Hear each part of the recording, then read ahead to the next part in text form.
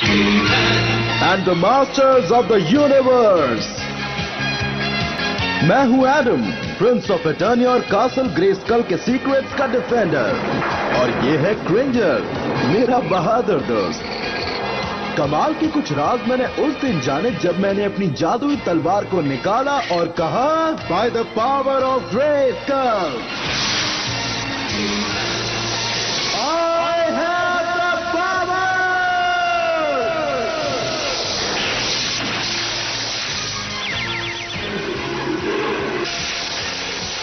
ranger बन गया एक शानदार बैटल कैप और मैं बन गया ही मैं दुनिया का सबसे ताकतवर इंसान।